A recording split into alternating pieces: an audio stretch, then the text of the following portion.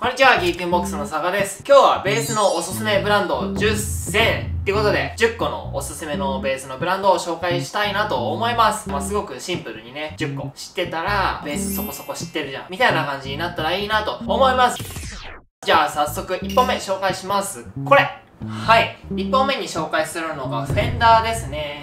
フェンダー。フェンダーってさ世界で一番最初にフレットがついてるソリッドベースを作ったっつって。そんな枕言葉いっぱいつきますけど一番なんかこう実用性を持たせてレキベースちゃんと作ったっていうブランドがフェンダーですよね。一番最初に出たのがプレシジョンベースなんですけどこれはジャズベースですね。プレシジョンベースとジャズベースってプレベジャズベなんて呼ばれて、まあ、すごく音楽の中ではポピュラーというかこれがないと音楽にならないぐらいの存在感があるなと思います。じゃあちょっと音聞いてみてください。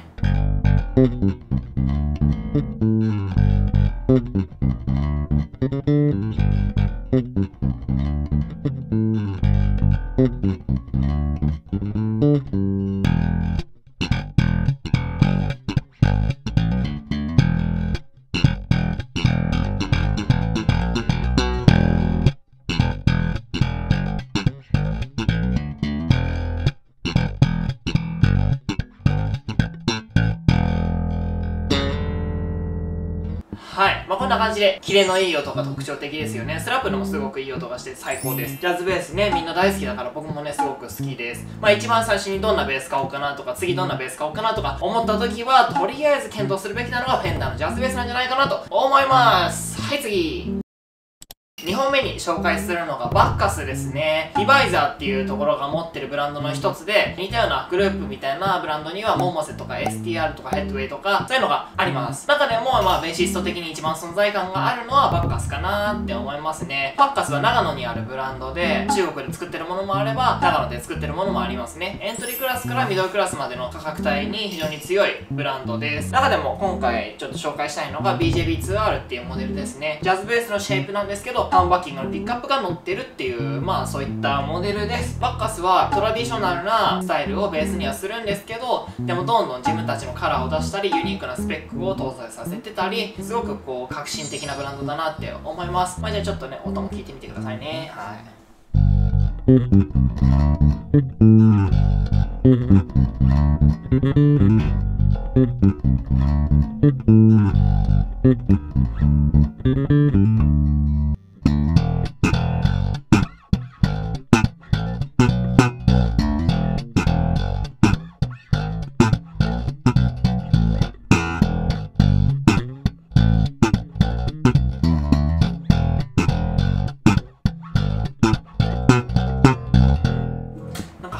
からさやっぱバランスを振ってもノイズが少ないっていうのもすごくいいとこだと思います。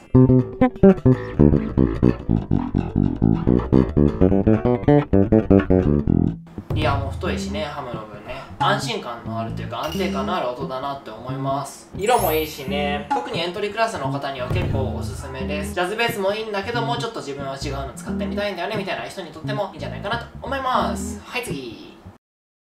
3本目に紹介したいのがアルソニックですね。イタリアのブランドです。これはね、ギークインボックスが輸入してるブランドなんですけど、まあすごくね、10個選べって言われたら、まあちょっと選びたいなと思って今回紹介します。特徴的には、このアルミをね、トップ材に使ってるっていうのがすごく大きいところかなと思います。見た目がね、まずすごくユニークだし、全体的に自分たちでデザインして作ってて、ボディもちょっと薄かったり、ピックアップオリジナルで作ってたり、プリアンプオリジナルだったりね、すごくね、総合的にいいバランスで作ってるので、やろうとしてることがはっきりしててすごくくいいブランドだなって思います。このモデルは J スペシャルっていうモデルですね。ジャンゴっていうスティングレをモチーフにしたモデルもあるんですけど今回はこっち紹介します。ちょっと音も聞いてみてくださいね。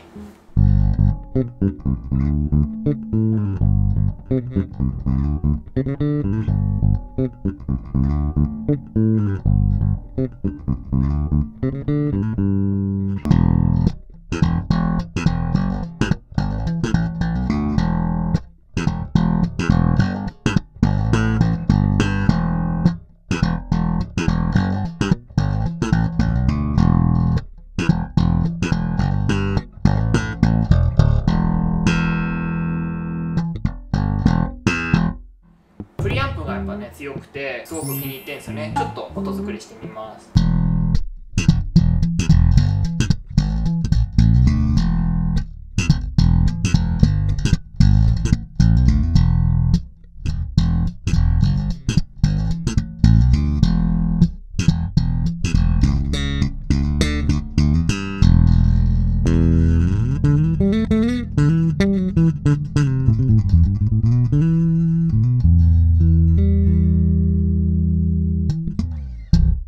はい。結構ねこう極端にプリアンプで音を作っても全然破綻しないっていうのは全体を自分たちで作ってるからだなって思いますね。見た目もユニークだし弾きやすいしサウンドもいいしっていうところでぜひぜひねなんかいいベースねえかなっつう時には1個選択肢に入れてほしいブランドでアルソニックでした。はい次4つ目に紹介したいのがエキゾチックですね。エキゾチックはねもう僕20歳ぐらいの時にゲットしてからずっと持ってますね。買ったり売ったりずっとしてたんですけどその中でもなんかずっと持ってるしなんかやっぱりめちゃくちゃ愛着があります。この XJ1T っていうモデルに関して言うとジャズベースのスタイルなんだけどウッドカバーでトラロジックっていうプリアンプがついててまあすごく使いやすい音なんですよね。なのでスタジオミュージシャンの人とかにもめちゃくちゃ人気があります。これ正解的にそうですね。すごいよね。このモデルに関して言うとレリックなんだよね。僕が持ってるやつはウレタン塗装なの。ピカピカのね。なんだけどこれはレリックやるために落下塗装にしてあるんですな。もうすごくねいいベースなんですよ。見ての通りっていうかね。音は端正でいい感じです。ちょっと弾いてみます。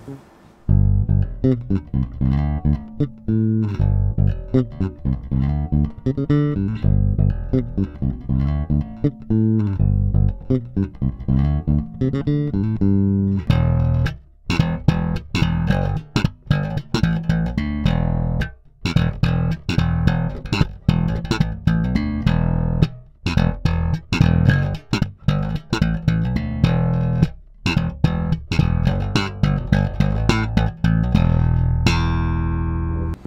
ささっきのアルソニックも語源なんだけどこの XJ の語源もねすごくいいんだよね。アルソニックもすごいいいんだけどあっちの方がやっぱ張りがあってこっちはよりなんかジャズベースっぽさがすごくあるよね。なんかいわゆる僕たちがイメージしているジャズベースの語源の音っていうのはやっぱりこういうのだしそっからね全然外れてないっていうのがすごく使いやすい音だなって思う。要因の一つなのかなって思いますね。エキゾチックはめちゃめちゃ信頼しててギークインボックスもね一番最初中古しかやってなかったんだけどそろそろ新品もできそうだぞっていう時に、まあ、バッカスにもとりあえず連絡したんですけどやっぱエキゾチックすぐにね電話しましたね。すごい仲良くてエキゾチックは。僕も好きだし。っていうことでねひいきじゃないけどまあひいきか。ひいきしてます僕はエキゾチックのこと。赤坂にあるねエキゾティックってショップもめちゃくちゃいいとこだしあそこねプレクあるんですよ。すごくね。いろんなミュージシャンに頼られてる一流のブランドだなって思います。はい次。5本目に紹介するのがサドースキーですね。これはね、サドースキー TYO ブランドです。サドースキーはさ、ニューヨークにあるんですけど、ニューヨークって音楽の第一線じゃないですか。第一線のミュージシャンにすごく信頼されているブランドっていうところで、一番最初に名前が上がるのって絶対サドースキーなんですよね。サドースキーで修行した菊池さんっていう人が、サドースキーの日本の展開とか、TYO ブランドの組み込みとか、そういったことをやってるっていうわけですな。まあすごいんですよ、菊池さんってめちゃくちゃ面白い。犬好きだし、ほんといい人。メトロラインは残念ながらドイツ製になっちゃうんですけどね。だからまあこれめっちゃいいよ楽しいです。TYO っていうのはカスタムラインなんですよ。カスタムメイド。メトロラインっていうのはそのレギュラーラインみたいな感じですね。これは TYO 名義なのでカスタムモデルなんですけどいわゆるねあの MV4 モダンエッジっていう名前がついてるけどモダンエッジって MV4 と同じシェイプなんですよ。普通よりも MV4 がモダンエッジシェイプってことかな。ボディがね。塗装をリテンハウスってとこがやってるライトエイジドなモデルですね。これねめちゃくちゃいいんですよ。ちょっと音聞いてみてください。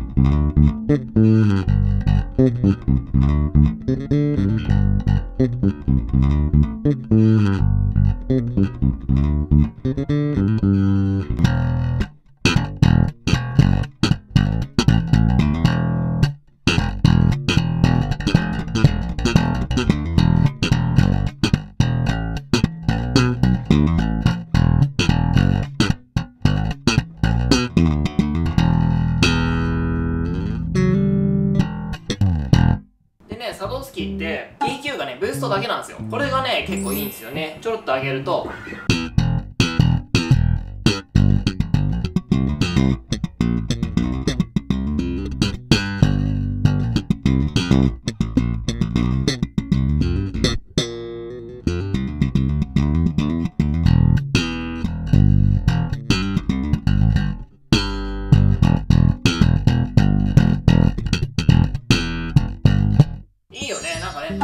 ってねすごくね僕これ好きですね。サドースキーってね結構アクティブはいいんだけどパッシブ微妙だよねみたいな話もあってでもこのモデルに関して言うとパッシブ結構いけててさ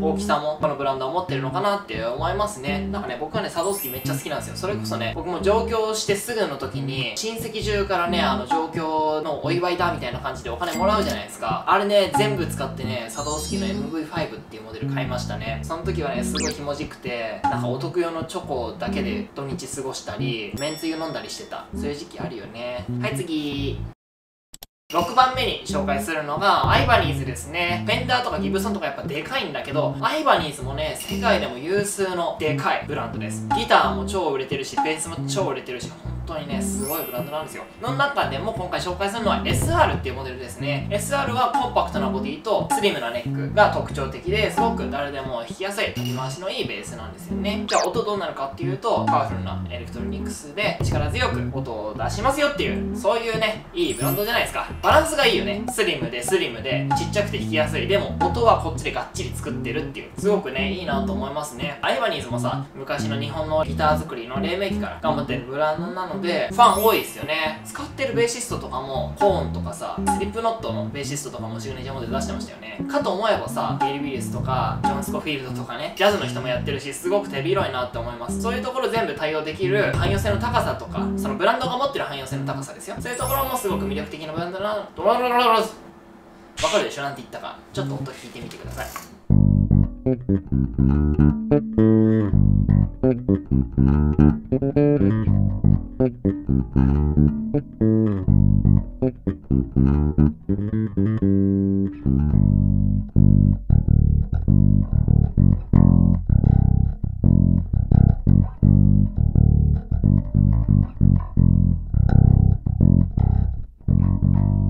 かバランスいいよねこのベースやっぱりね。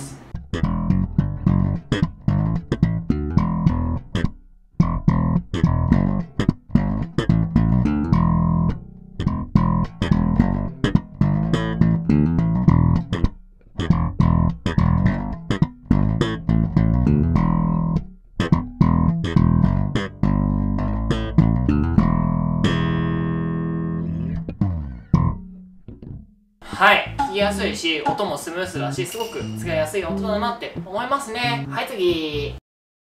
7番目に紹介したいのがモジュラスですね。このブランドは何で有名になったかっていうとやっぱフリーが使ったからですよね。FB4 っていうフリーベースっていうシグネチャーモデルが出ました。このベースはね FB4 です。多分。FU4 かも。なんかね契約切れたかなんかのタイミングでね名前が変わったんですよ。フリーベースからファンクアンリミテッドにね。ネックはねカーボンなんですよ。バラスがついてたり派手なフィニッシュがされてたりっていうすごくファンキーなベースですね。なんかね他にもねスパイロジャイラーっていうバンドのベーシストが使ってたり結構ねモジュラス愛されてるんですよねいろんな人に。カーボンネックをポピュラーにしたのってモジュラスとかゾンとかそこら辺のブランドだなって思いますね。そういった意味ですごく功績も大きいし僕はねすごく好きなブランドです。ちょっと音も聞いてみてください。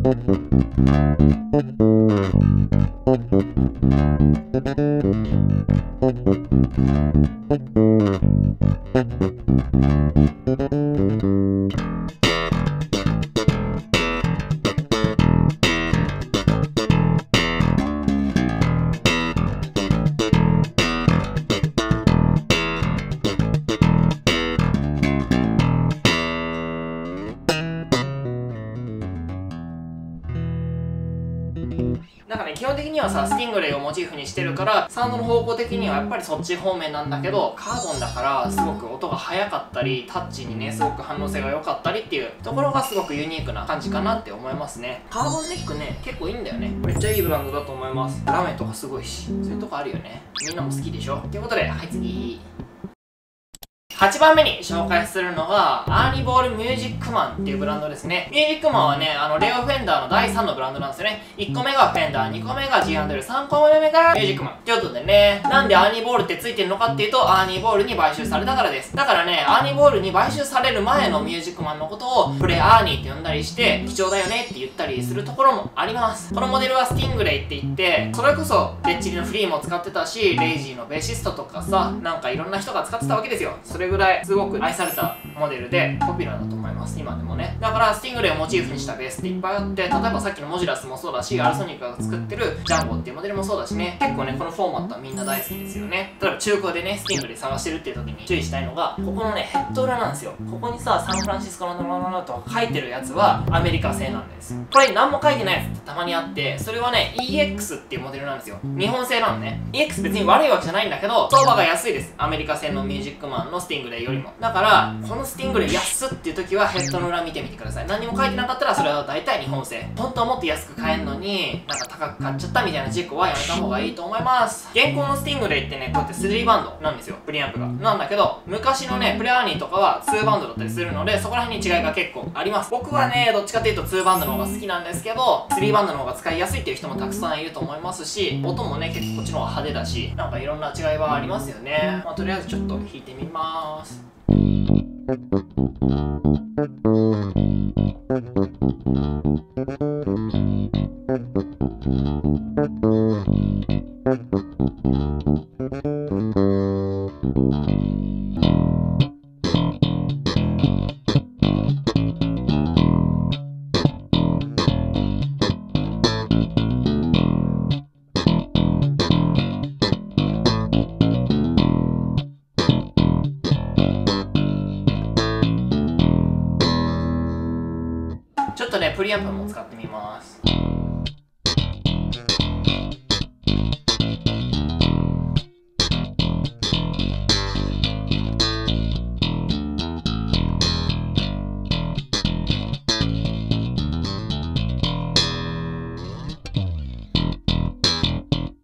さすごくタイトで派手な音色がこのスティングレイっぽい音だなって思いますね。じゃあ次弾いてみます。次。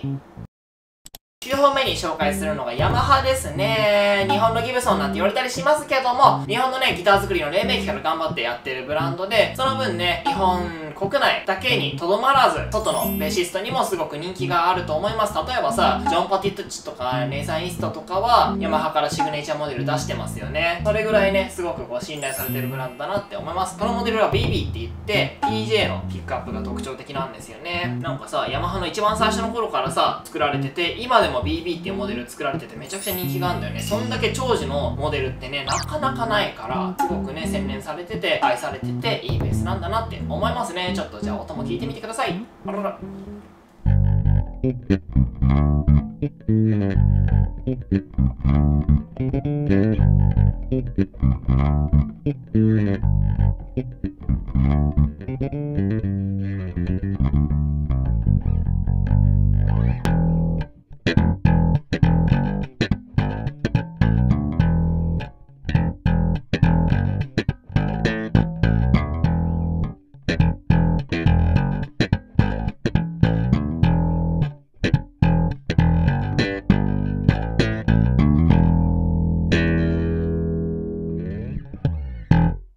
なんかさ音自体はさなんか PJ だから結構ユニーク。なんだけどやっぱ弾き心地がすごくヤマハっぽいんだよね。なんかねそこに特徴が出るのってやっぱり長い歴史があったり知見があったりっていう証拠なのかなって思います。これはねちょっと古いモデルなんだけど BBXBB10 っていうのかな？ってものなんだけどね。まあでもね弾き心地とか印象自体は今の BB も僕はあんまり変わらないです。はいじゃあ次10番目に紹介するのが F ベースっていうブランドですね。このブランドはね、マニアックって言ったらちょっとマニアックなのかもしんないけど、なんかぜひね、みんなに知ってもらいたいなと思って紹介します。カナダのね、ブランドで、アラン・カロンとか、マイケル・リーグとか使ってますよね。あと日本だとさ、明らかにアキラさんとか F ベースいっぱい使ってるんじゃなかったっけ？っていうね、すごくね、いいブランドなんですよ。見た目もかっこいいし、やっぱ語源の作りですごく評価されてるブランドなんですよね。セブンティーズのフェンダーのサウンドをうまく再現してるっていう風に評価されますますねよく。これはねフラッグシップモデルの BN5 っていうものですね。ネオンバーストっていうすごくファンキーなカラーです。ウッドのねピックアップカバーがついててブーストだけのオリジナルのプリアンプが載ってます。ハードウェアはねヒップショットですね。裏もねなんかこういう風にピーンってなっててねいいよね。ヘッドもねでかくてかっこいいんだよね。北米の楽器がすごくいいんだなって思ったのは僕は結構 F ベースがそのきっかけですね。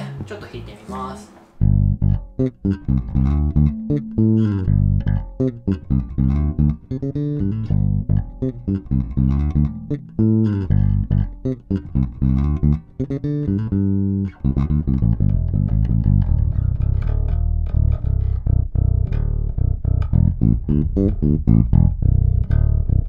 構ねサウンド的にはおとなしめだと思うんですけどでもロービンもバッチリ出るしすごくね使いやすいですよねこの音ってね。スラップもねいいよ。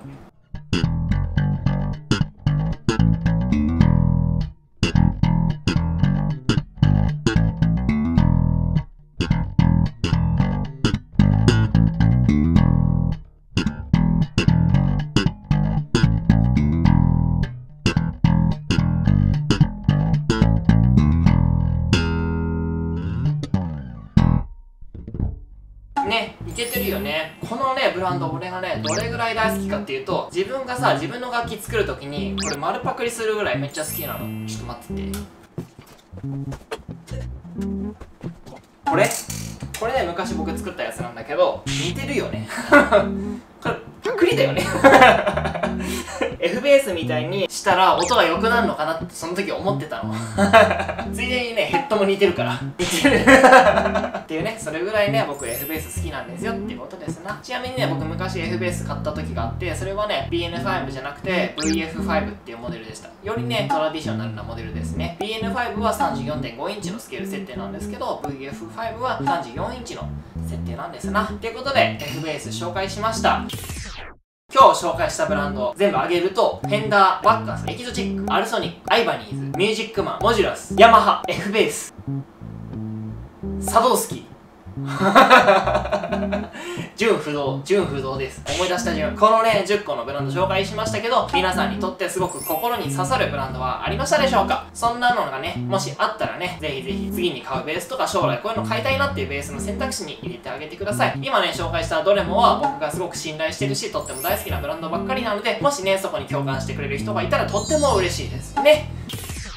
いやなんかさ俺最近ハマってるブランドがあってそれがねあのジョー・マローンなんだけど香水のブランドなのよジョー・マローンってもともとね。ハンドソープめっちゃいいしルームフレグランスもめちゃくちゃいいしすげえいいのね。この前ザラからジョー・マローンとのコラボアイテムが出たのよ。あれってどうなんですかみたいな話をこの前ジョー・マローンのお店に行った時に聞いたら「いや私知らないです」とか言ってて「あそうなの?」って言ったら「いやなんかね話聞いてたらジョー・マローンからはジョー・マローンがもういないのよ。わかるかな？ジョー・マローンっていうブランドからジョー・マローンさんはもういなくてジョー・マローンさん勝手にザラと香水作ってたの勝手にっていうかね普通にね。これさ難しいよね。ジョー・マローンに行ってもジョー・マローンさんのことは分かんないわけよ。でもザラに行ったらジョー・マローンのことは分かるんだけどまあでもジョー・マローンのことは分かんない。んだよねこれマリリン・マンソンからマリリン・マンソン脱退しましたみたいな感じだよな。普通ねジョー・マローンの香水めちゃくちゃ良くて評判もねすげえいいです。みんなからいい匂いだねって言われるんですけどめっちゃおすすめです。なって話です。ジョー・マローンの他にもねなんかこういう香水いいよとかこういうフレグランスめっちゃいいっすよみたいな話あったらぜひぜひ教えてもらえたらとても嬉しいです。もしこの動画面白かったらぜひぜひいいねボタンとかチャンネル登録とかしてください。あのベース良かったとかあのブランド俺は好きなんだけどなとかそういう話ねまたいろいろしてくれたら楽しいなと思います。コメント欄でお話ししましょう。以上ギークインボックスの佐賀でした。ご視聴ありがとうございました。